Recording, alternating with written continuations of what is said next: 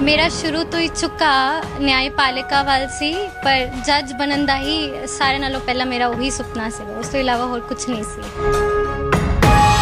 ਮੇਰਾ ਇਸ ਵਾਰ ਐਗਜ਼ਾਮ ਨਿਕਲਿਆ ਉਹ ਸਿਰਫ ਮੇਰੀ ਫੈਮਿਲੀ ਦੇ ਕਰਕੇ ਨਿਕਲਿਆ ਕਿਉਂਕਿ ਉਹਨਾਂ ਨੇ ਮੈਨੂੰ ਪੂਰਾ ਐਟਮੋਸਫੇਅਰ ਦਿੱਤਾ ਕਿ ਮੈਂ ਪੜ ਸਕਾਂ ਤੇ ਮੇਰੇ ਉੱਤੇ ਕੋਈ ਬੰਦਿਸ਼ ਨਹੀਂ ਲਾਈ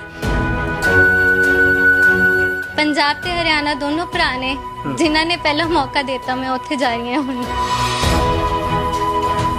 ਮੋਟਿਵ ਤਾਂ ਮੋਟੀਵੇਸ਼ਨ ਤਾਂ ਮੇਰੀ ਫੈਮਿਲੀ ਤੋਂ ਹੀ ਸੀ ਬਟ ਸਮਾਂ ਜਿਵੇਂ 8 ਘੰਟੇ ਹਰ ਰੋਜ਼ ਪੜ੍ਹਦੀ ਸੀਗੀ, ਤੇ ਨਾਲ ਇਹ ਵੀ ਹੈ ਕਿ ਰੋਜ਼ 1 ਘੰਟਾ ਸੈਰ ਵਗੈਰਾ ਕਰਨਾ ਤਾਂ ਕਿ ਮੈਨੂੰ ਬ੍ਰੇਕ ਮਿਲ ਜਵੇ ਤੇ ਮੈਂ ਅਗਲੇ ਦਿਨ ਫੇਰ ਤੋਂ 8 ਘੰਟੇ ਲਗਾ ਸਕਾਂ ਆਪਣੀ ਪੜ੍ਹਾਈ ਤੇ। ਮੈਂ ਪੂਰੀ ਕੋਸ਼ਿਸ਼ ਕਰੂੰਗੀ ਕਿ ਮੈਂ ਜਸਟਿਸ ਦਵਾਂ ਆਪਣੀ ਸੀਟ ਨੂੰ ਵੀ ਤੇ ਆਪਣੀ ਸਮਾਜ ਨੂੰ ਵੀ।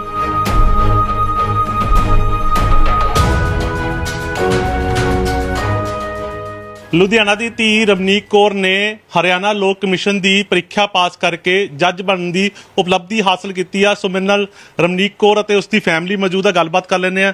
ਰਵਨੀਕ ਜੀ ਪਹਿਲਾਂ ਤਾਂ ਮੁਬਾਰਕਾਂ ਬਹੁਤ ਬਹੁਤ ਥੈਂਕ ਯੂ ਸੋ ਮਚ ਜੀ। ਸੋ ਕਿਸ ਤਰ੍ਹਾਂ ਦਾ ਐਗਜ਼ਾਮ ਸੀਗਾ? ਕਿਸ ਤਰ੍ਹਾਂ ਸੋਚਿਆ ਸੀ ਕਿ ਜੱਜ ਬਣਨ ਦਾ ਸੁਪਨਾ ਸੀਗਾ ਤੁਹਾਡਾ? ਸੁਪਨਾ ਤਾਂ ਮੇਰਾ ਸ਼ੁਰੂ ਤੋਂ ਹੀ ਸੀਗਾ ਪਰ ਜਿਵੇਂ ਹੀ ਮੇਰੀ ਲਾਅ ਕੰਪਲੀਟ ਹੋਈ ਉਸ ਤੋਂ ਬਾਅਦ ਮੈਂ ਜੁਡੀਸ਼ਰੀ ਦੀ ਤਿਆਰੀ ਕਰਨੀ ਸ਼ੁਰੂ ਕਰਤੀ ਤੇ ਫਿਰ ਜਿਵੇਂ ਹੀ ਹਰਿਆਣਾ ਨੇ ਮੈਨੂੰ ਮੌਕਾ ਦਿੱਤਾ ਤੇ ਪ੍ਰੀਖਿਆ ਮੈਂ ਪਾਸ ਕੀਤੀ ਤੇ ਹੁਣ ਰਿਜ਼ਲਟ ਹੁਣੀ 10 ਦਿਨ ਪਹਿਲਾਂ ਆਊਟ ਹੋਏ ਸੀਗੇ। ਸੋਚ ਬਚਪਨ ਦਾ ਹੀ ਸੁਪਨਾ ਸੀ ਕਿ ਜੱਜ ਬਣਨਾ ਜਾਂ ਕੁਝ ਹੋਰ ਮੋਟਿਵ ਸੀਗਾ ਕਿ ਕੁਝ ਹੋਰ ਕਰਨਾ ਚਾਹੁੰਦੇ ਸੀ ਤੁਸੀਂ? ਮੇਰਾ ਸ਼ੁਰੂ ਤੋਂ ਹੀ ਝੁਕਾ ਨਿਆਂਪਾਲਿਕਾ ਵੱਲ ਸੀ ਪਰ ਜੱਜ ਬਣਨ ਦਾ ਹੀ ਸਾਰੇ ਨਾਲੋਂ ਪਹਿਲਾਂ ਮੇਰਾ ਉਹੀ ਸੁਪਨਾ ਸੀ ਉਸ ਤੋਂ ਇਲਾਵਾ ਹੋਰ ਕੁਝ ਨਹੀਂ ਸੀ। ਫੈਮਿਲੀ ਸਪੋਰਟ ਕਿਸ ਤਰ੍ਹਾਂ ਰਹੀ? ਪੂਰੀ ਇਸ ਸਟੱਡੀ ਨੂੰ ਲੈ ਕੇ ਜੱਜ ਬਣਨ ਤੱਕ ਫੈਮਿਲੀ ਸਪੋਰਟ ਕਿਸ ਤਰ੍ਹਾਂ ਰਹੀ? ਜੇ ਮੇਰਾ ਇਸ ਵਾਰ ਐਗਜ਼ਾਮ ਨਿਕਲਿਆ, ਉਹ ਸਿਰਫ ਮੇਰੀ ਫੈਮਿਲੀ ਦੇ ਕਰਕੇ ਹੀ ਨਿਕਲਿਆ ਕਿਉਂਕਿ ਉਹਨਾਂ ਨੇ ਮੈਨੂੰ ਪੂਰਾ ਐਟਮੋਸਫੇਅਰ ਦਿੱਤਾ ਕਿ ਮੈਂ ਪੜ ਸਕਾਂ ਤੇ ਮੇਰੇ ਉੱਤੇ ਕੋਈ ਬੰਦਿਸ਼ ਨਹੀਂ ਲਾਈ ਤੇ ਮੈਨੂੰ ਜਿਹੜੇ ਵੀ ਰਿਸੋਰਸਸ ਚਾਹੀਦੇ ਸੀਗੇ, ਉਹ ਉਹਨਾਂ ਨੇ ਮੈਨੂੰ ਲਿਆ ਕੇ ਦਿੱਤੇ। ਸਮਾਂ ਕਿਸ ਤਰ੍ਹਾਂ ਬਤੀਤ ਕਰਦੇ ਸੀ? ਸਟੱਡੀ ਨੂੰ ਲੈ ਕੇ ਕਿਸ ਤਰ੍ਹਾਂ ਸਮਾਂ ਕਰਦੇ ਸੀਗੇ? ਇਸ ਮੁਕਾਮ ਤੱਕ ਅੱਜ ਪਹੁੰਚਣ ਦਾ ਕਿਸ ਨੂੰ ਮੇਨ ਮੋਟਿਵ ਸਮਝਦੇ ਹੋ? ਮੇਰਾ ਮੇਨ ਮੋਟਿਵ ਤਾਂ ਮੋਟੀਵੇਸ਼ਨ ਤਾਂ ਮੇਰੀ ਫੈਮਿਲੀ ਤੋਂ ਹੀ ਸੀ ਬਟ ਸਮਾਂ ਜਿਵੇਂ 8 ਘੰਟੇ ਹਰ ਰੋਜ਼ ਪੜ੍ਹਦੀ ਸੀਗੀ ਤੇ ਨਾਲ ਇਹ ਵੀ ਹੈ ਕਿ ਰੋਜ਼ 1 ਘੰਟਾ ਸੈਰ ਵਗੈਰਾ ਕਰਨਾ ਤਾਂ ਕਿ ਮੈਨੂੰ ਬ੍ਰੇਕ ਮਿਲ ਜਵੇ ਤੇ ਮੈਂ ਅਗਲੇ ਦਿਨ ਫੇਰ ਤੋਂ 8 ਘੰਟੇ ਲਗਾ ਸਕਾਂ ਆਪਣੀ ਪੜ੍ਹਾਈ ਤੇ। ਪੰਜਾਬ ਛੱਡ ਕੇ ਹਰਿਆਣਾ ਹੀ ਕਿਉਂ? ਪੰਜਾਬ ਤੇ ਹਰਿਆਣਾ ਦੋਨੋਂ ਭਰਾ ਨੇ ਜਿਨ੍ਹਾਂ ਨੇ ਪਹਿਲਾ ਮੌਕਾ ਦਿੱਤਾ ਮੈਂ ਉੱਥੇ ਜਾ ਰਹੀ ਹਾਂ ਹੁਣ। ਦੂਸਰੇ ਭਰਾ ਕੋ ਜਾ ਰਹੇ ਹੋ? ਦੂਸਰੇ ਭਰਾ ਨੇ ਮੈਨੂੰ ਸੱਦਿਆ ਤਾਂ ਮੈਂ ਜਾ ਰਹੀ ਹਾਂ। ਦੂਸਰੇ ਭਰਾ ਨੇ ਸੱਦਿਆ। ਹਾਂਜੀ। ਸੋ ਫੈਮਿਲੀ ਦੀ ਥੋੜੀ ਦੱਸ ਦਿਓ ਬੈਕਗ੍ਰਾਉਂਡ ਫੈਮਿਲੀ ਕੌਣ ਕੌਣ ਫੈਮਿਲੀ ਦੇ ਵਿੱਚ? ਮੇਰੇ ਪਾਪਾ ਉਹ ਐਡਵੋਕੇਟ ਨੇ ਤੇ ਮੇਰੇ ਮੰਮਾ ਚਾਈਲਡ ਡਿਵੈਲਪਮੈਂਟ ਪ੍ਰੋਜੈਕਟ ਆਫੀਸਰ ਨੇ ਤੇ ਮੇਰਾ ਛੋਟਾ ਭਰਾ ਹੈ ਜਿਨੇ ਲਾਅ ਦੀ ਡਿਗਰੀ ਹਾਸਲ ਕੀਤੀ ਹੈ ਔਰ ਹੁਣ ਉਹ ਵੀ ਪ੍ਰੈਕਟਿਸ ਕਰ ਰਿਹਾ ਹੈ। ਪੂਰਾ ਪਰਿਵਾਰ ਇਸ ਦੇ ਨਾਲ ਜੁੜਿਆ ਹੈ ਪੂਰਾ ਲੋਰ ਦੇ ਨਾਲ। ਹਾਂਜੀ। ਬਿਲਕੁਲ। ਤੇ ਹੋਰ ਕਿਸ ਤਰ੍ਹਾਂ ਸ਼ੁਰੂ ਤੋਂ ਹੀ ਸੀਗਾ ਜਿਵੇਂ ਤੁਸੀਂ ਦੱਸਿਆ ਕਿ ਬਚਪਨ ਤੋਂ ਹੀ ਤੁਹਾਨੂੰ ਸੀਗਾ ਜੱਜ ਬਣਨਾ ਹੈਗਾ ਵਾ। ਦਾਦੇ ਪੜਦਾਦੇ ਵੀ ਵਕੀਲ ਸੀਗੇ ਤੁਹਾਡੇ? ਮੇਰੇ ਦਾਦਾ ਜੀ ਆਪਣੇ ਪਿੰਡ ਦੇ ਸਾਰੇ ਨਾਲੋਂ ਪਹਿਲਾਂ ਐਡਵੋਕੇਟ ਸੀਗੇ ਤੇ ਮੈਂ ਕਦੇ ਮਿਲ ਨਹੀਂ ਪਾਈ ਪਿੰਡ ਦੇ? ਬਾਗੜੀਆਂ। ਬਾਗੜੀਆਂ ਦੇ। ਹਾਂਜੀ। ਤੇ ਉਹਨਾਂ ਨੇ ਮੈਂ ਕਦੇ ਉਹਨਾਂ ਨੂੰ ਮਿਲ ਨਹੀਂ ਸੀ ਪਾਈ ਪਰ ਮੇਰੇ ਪਾਪਾ ਨੇ ਮੈਨੂੰ ਉਹਨਾਂ ਦੀਆਂ ਬਹੁਤ ਸਟੋਰੀਜ਼ ਦਸੀਆਂ। ਫਿਰ ਮੇਰੇ ਤਾਇਆ ਜੀ ਮੇਰੇ ਸਾਹਮਣੇ ਆਪਣੀ ਕੇਸ ਸਟੱਡੀਜ਼ ਦੀ ਪ੍ਰੈਪਰੇਸ਼ਨ ਕਰਦੇ ਹੁੰਦੇ ਸੀ ਤਾਂ ਮੈਨੂੰ ਸ਼ੁਰੂ ਤੋਂ ਹੀ ਬਸ ਉਹ ਉਦਾਂ ਹੀ ਬੰਨਾ ਸੀਗਾ। ਬਸ ਸ਼ੁਰੂ ਤੋਂ ਫਿਰ ਉਹੀ ਸੋਚ ਆ ਗਈ ਕਿ ਜੱਜ ਬਣਨਾ ਹੈਗਾ। ਹਾਂਜੀ। ਸੋ ਅੱਜ ਇਸ ਕੁਰਸੀ ਤੇ ਪਹੁੰਚ ਗਏ ਉਹ ਅੱਗੇ ਜਾ ਕੇ ਹੁਣ ਕਿਸ ਤਰ੍ਹਾਂ ਦੇ ਫੈਸਲੇ ਹੋਣਗੇ ਕੀ ਕਰੋਗੇ ਹੁਣ ਅੱਗੇ? ਮੈਂ ਤਾਂ ਪੂਰੀ ਕੋਸ਼ਿਸ਼ ਕਰੂੰਗੀ ਕਿ ਨਿਆਂ ਹੀ ਹੋਵੇ ਤੇ ਜਿਵੇਂ ਜਿਵੇਂ ਹੁਣ ਮੈਨੂੰ ਸਿਖਾਉਂਦੇ ਜਾਣਗੇ ਮੇਰੇ ਸੀਨੀਅਰਸ ਮੈਂ ਪੂਰੀ ਕੋਸ਼ਿਸ਼ ਕਰੂੰਗੀ ਕਿ ਮੈਂ ਜਸਟਿਸ ਦਵਾਂ ਆਪਣੀ ਸੀਟ ਨੂੰ ਵੀ ਤੇ ਆਪਣੀ ਸਮਾਜ ਨੂੰ ਵੀ। ਰਮਨੀ ਕਦੋਂ ਕੁਰਸੀ ਤੇ ਬੈਠ ਚੁੱਕੀ ਜਾਂਦੀ? ਹਾਂਜੀ। ਕਦੋਂ ਬੈਠਣ ਜਾ ਰਹੇ ਕੁਰਸੀ ਤੇ? ਬਸ ਟ੍ਰੇਨਿੰਗ ਤੋਂ ਬਾਅਦ ਸੇ। ਟ੍ਰੇਨਿੰਗ ਤੋਂ ਬਾਅਦ। ਹਾਂਜੀ। ਸੋ ਰਮਨੀਕ ਦੇ ਪਿਤਾ ਜੀ ਸਾਡੇ ਨਾਲ ਮੌਜੂਦ ਨੇ ਗੱਲਬਾਤ ਕਰ ਲੈਨੇ ਆ ਹਾਲਾਂਕਿ ਬੋਲਦੇ ਬਹੁਤ ਘੱਟ ਨੇ। ਅੰਕਲ ਸਿਹਤ ਕਿਵੇਂ ਹੈ ਜੀ? ਸਿਹਤ ਠੀਕ ਹੈ ਜੀ ਇੰਪਰੂਵ ਕਰ ਰਹੇ ਆ ਤੇ ਰਣਨੀਕ ਨੇ ਜੱਜ ਬਣਨ ਤੋਂ ਬਾਅਦ ਲੱਗਦਾ ਸਿਹਤ ਹੋ ਰਣਨੀਕ ਨੇ ਇੰਜੈਕਸ਼ਨ ਲਾਤਾ ਹੋਰ ਜ਼ਿਆਦਾ ਤੇਜ਼ੀ ਨਾਲ ਇੰਪਰੂਵ ਕਰ ਰਿਹਾ। ਸੋ ਕਿਸ ਤਰ੍ਹਾਂ ਤੁਹਾਡਾ ਕੀ ਸੁਪਨਾ ਸੀ? ਅੰਕਲ ਬੇਟੀ ਨੂੰ ਕੀ ਬਣਾਉਣਾ ਸੀਗਾ? ਦੇਖੋ ਜੀ ਮੈਂ ਬੱਚਿਆਂ ਦੇ ਬਾਰੇ ਬਹੁਤ ਜ਼ਿਆਦਾ ਨਹੀਂ ਕੀਤਾ ਕੋਈ ਥੋਪਿਆ ਨਹੀਂ ਕੁਝ ਨਹੀਂ ਕੀਤਾ ਵੀ ਆਹ ਕਰਨਾ ਤੂੰ ਉਹ ਕਰਨਾ।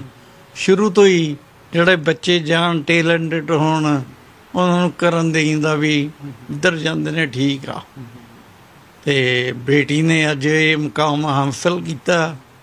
ਵੀ ਬਹੁਤ ਪ੍ਰਾਊਡ ਫੀਲ ਹੋ ਰਿਹਾ। ਸੋ ਅੱਜ ਬੇਟੀ ਜੱਜ ਬਣ ਗਈ ਆ ਘਰ ਦੇ ਵਿੱਚ ਹੁਣ ਜੱਜ ਆ ਗਿਆ ਵਾ। ਅੱਗੇ ਤੁਸੀਂ ਜਾਂਦੇ ਸੀਗੇ ਵਕੀਲ ਬਣ ਕੇ ਜੱਜ ਸਾਹਿਬ ਦਾ ਕੇਸ ਆ ਮੇਰਾ ਜੀ। ਹੁਣ ਬੇਟੀ ਕੋ ਆ ਗਿਆ ਕਿ? ਹੁਣ ਬੇਟੀ ਜੱਜ ਬਣ ਗਈ। ਉਹ ਫਿਰ ਉਹ ਤਾਂ ਕੁਰਸੀ ਨਹੀਂ ਜੱਜ ਆ ਜੱਜ। ਮੇਰੇ ਫਾਦਰ ਤੇ ਮੇਰੇ ਬ੍ਰਦਰ ਦੋਨੇ ਐਡਵੋਕੇਟ ਸੀਗੇ। ਤੇ ਜਦੋਂ ਕੋਰਟ 'ਚ ਜਾਂਦੇ ਸੀ, ਜੇ ਕਲਾਇੰਟ ਇੱਕ ਉਹਨਾਂ ਕੋਲ ਇੱਕ ਉਹਨਾਂ ਕੋਲ ਉਹ ਏਦਾਂ ਹੀ ਬੈਠਦੇ ਸੀਗੇ ਵੀ ਦਾ ਆਪੋਜੀਟ ਆ, ਇਹ ਨਹੀਂ ਵੀ ਮੇਰਾ ਫਾਦਰ ਆ, ਉਹਨਾਂ ਹੀ ਕਹਿਣਾ ਮੇਰਾ ਬੇਟਾ ਆ, ਕੋਈ ਨਹੀਂ ਐ ਪੂਰੇ ਜੋਰ ਲਾਉਂਦੇ ਸੀ ਇੱਕ ਦੂਜੇ ਨੂੰ। ਇਹ ਆ ਵੀ ਜਦੋਂ ਬੇਟੀ ਕੋਲੇ ਜਾਵਾਂਗੇ ਨਾਟ ਬੇਟੀ, ਉਦੋਂ ਕੋਰਟ 'ਚ ਜਾਵਾਂਗੇ, ਉਹ ਜੱਜ ਕੋਲੇ ਜਾਵਾਂਗੇ। ਸੋ ਬਿਲਕੁਲ ਮਨੀਸ਼ਾ ਗੁਲਾਟੀ ਜੀ ਵੀ ਹੋ ਕੇ ਗਏ ਨੇ ਤੁਹਾਡੇ ਕੋਲ ਕੀ ਮੁਲਾਕਾਤ ਹੋਈ ਉਹਨਾਂ ਨਾਲ ਕੀ ਗੱਲਬਾਤ ਹੋਈ ਉਹਨਾਂ ਨਾਲ? ਉਹਨਾਂ ਨੇ ਬਹੁਤ ਮੋਟੀਵੇਟ ਕੀਤਾ ਆਪਣੇ ਸ਼ਬਦਾਂ ਨਾਲ ਮੈਨੂੰ। ਮੈਨੂੰ ਉਹਨਾਂ ਦੀ ਬਹੁਤ ਵਧੀਆ ਗੱਲ ਲੱਗੀ ਕਿ ਉਹ ਹਰ ਇੱਕ ਪੰਜਾਬ ਦੀ ਬੇਟੀ ਨੂੰ ਮਿਲ- ਮਿਲਣ ਜਾ ਰਹੇ ਨੇ ਤਾਂ ਕਿ ਉਹ ਸਾਰੀ ਪੰਜਾਬ ਦੀ ਫੈਮਿਲੀਜ਼ ਨੂੰ ਇਨਸਪਾਇਰ ਕਰਨ ਕਿ ਆਪਣੀ ਬੇਟੀਆਂ ਨੂੰ ਪੜ੍ਹਾਓ ਤੇ ਵੱਡੇ ਮੁਕਾਮ ਹਾਸਲ ਕਰਨ ਦੀ ਇਨਸਪੀਰੇਸ਼ਨ ਦਿਓ। ਬੇਟੀਆਂ ਲਈ ਤੁਸੀਂ ਕੀ ਮੈਸੇਜ ਦੇਣਾ ਚਾਹੋਗੇ? ਤੁਸੀਂ ਹੁਣ ਜੱਜ ਬਣ ਗਏ ਹੋ ਕੀ ਮੈਸੇਜ ਦੇਣਾ ਚਾਹੋਗੇ? ਬੇਟੀਆਂ ਨੂੰ ਤਾਂ ਬਿਲਕੁਲ ਪੜ੍ਹਨਾ ਚਾਹੀਦਾ ਹੈ ਤੇ ਜੋ ਆਪਣੇ ਸਾਰੇ ਸੁਪਨੇ ਨੇ ਉਹ ਸੱਚ ਵੀ ਕਰਨੇ ਚਾਹੀਦੇ ਨੇ। ਸਕਾਈ ਇਜ਼ ਦ ਲਿਮਿਟ ਤੁਸੀਂ ਸੁਪਨੇ ਜਿਸ ਤਰ੍ਹਾਂ ਸੱਚ ਕੀਤੇ ਆਪਣੇ ਸੋ ਉਹ ਬੇਟੀਆਂ ਕਿਸ ਤਰ੍ਹਾਂ ਸੁਪਨੇ ਸੱਚ ਕਰ ਸਕਦੀ ਉਹਨਾਂ ਵਾਸਤੇ ਕੋਈ ਮੇਨ ਮੈਸੇਜ ਮੈਂ ਤਾਂ ਇਹੀ ਕਹੂੰਗੀ ਕਿ ਆਪਣੀ ਪੜ੍ਹਾਈ ਕਦੇ ਨਾ ਛੱਡਣ। ਜਿ- ਜਿੱਥੇ ਵੀ ਤੁਹਾਡਾ ਮਿਹਨਤ ਹੋ ਸਕਦੀ ਹੈ ਤੁਸੀਂ ਆਪਣੀ ਪੂਰੀ ਪੂਰੀ ਮਿਹਨਤ ਕਰੋ। ਤੇ ਆਪਣੇ ਪੇਰੈਂਟਸ ਨਾਲ ਵੀ ਗੱਲ ਕਰੋ ਕਿ ਉਹ ਅੱਗੇ ਤੁਹਾਨੂੰ ਮੌਕਾ ਦਿੰਦੇ ਰਹਿਣ ਪੜਨ ਦਾ ਵਧਣ ਦਾ। ਸੋ ਰਮਨੀਕ ਤੇ ਬ੍ਰਦਰ ਵੀ ਸਾਡੇ ਨਾਲ ਮੌਜੂਦ ਨੇ ਉਹਨਾਂ ਨਾਲ ਗੱਲਬਾਤ ਕਰ ਲੈਂਦੇ ਆ ਬਾਈ ਜੀ ਕਿਵੇਂ ਹੋ? ਠੀਕ ਹੋ ਜੀ? ਬਹੁਤ ਵਧੀਆ ਜੀ। ਅੱਛਾ ਸਿਸਟਰ ਜੱਜ ਬਣ ਗਏ ਹੁਣ ਕਿਸ ਤਰ੍ਹਾਂ ਲੱਗ ਰਿਹਾ? ਇਹ ਤਾਂ ਲੋਕਾਂ ਵਾਸਤੇ ਅੱਜ ਜੱਜ ਬਣਿਆ। ਮੇਰੇ ਵਾਸਤੇ ਤਾਂ 24 ਸਾਲਾਂ ਤੋਂ ਜੱਜ ਹੈ। ਛੋਟਾ ਭਰਾ ਹੁੰਦੇ ਮੇਰੇ ਲਈ ਤਾਂ ਮੈਂ ਸਾਰੇ ਫੈਸਲੇ ਜੋ ਇਹਦੇ ਮੰਨੇ ਆ ਸੁਣੇ ਆ ਉਹ ਇਦਾਂ ਹੀ ਮੰਨਿਆ ਕਿ ਮੇਰੇ ਲਈ ਕੋਈ ਮੈਨੂੰ ਕੋਈ ਜੱਜ ਫੈਸਲਾ ਸੁਣਾ ਰਿਹਾ।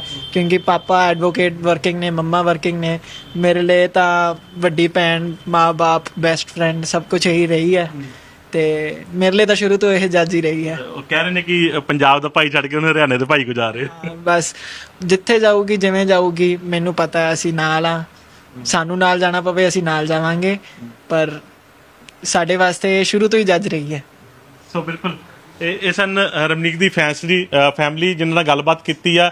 ਸੋ ਇਹ ਫੈਮਿਲੀ ਦੇ ਵਿੱਚ ਅੱਜ ਖੁਸ਼ੀ ਮਨਾਈ ਜਾ ਰਹੀ ਹੈ ਕਿਉਂਕਿ ਪੰਜਾਬ ਦੀ ਧੀ ਆ ਲੁਧਿਆਣੇ ਦੀ ਧੀ ਆ ਜਿਹੜੀ ਕਿ ਜੱਜ ਬਣੀ ਆ। ਸੋ ਕਿਹਾ ਕਿ ਆਉਣ ਵਾਲੇ ਸਮੇਂ ਦੇ ਵਿੱਚ ਜਦੋਂ ਕੁਰਸੀ ਤੇ ਬੈਠੇਗੀ ਤਾਂ ਸਮਾਜ ਦੇ ਲਈ ਚੰਗੇ ਫੈਸਲੇ ਜਿਹੜੇ ਨੇ ਉਹ ਸੁਣਾਏ ਜਾਣਗੇ। ਕੈਮਰਾਮੈਨ ਅਮਨ ਦੇ ਨਾਲ ਨਰਿੰਦਰ ਮਹਿੰਦੂ ਜਗਮਨ ਟੀਵੀ ਲੁਧਿਆਣਾ।